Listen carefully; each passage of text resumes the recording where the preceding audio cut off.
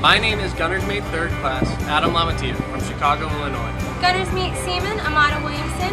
My name is Andrew Fogisera. Gunner's Mate 3rd Class Alan Gaswai Tua, and I am from Waimanalo, Hawaii. Why I serve is for the feeling of brotherhood. I serve to better my education. I started to serve only because I wanted my education paid for. But being stationed on board USS Constitution, it really gave me a sense of honor. Knowing that the person next to you and those you serve with will do whatever it takes to get you and your shipmates home safe and sound. The reason why I serve is tradition.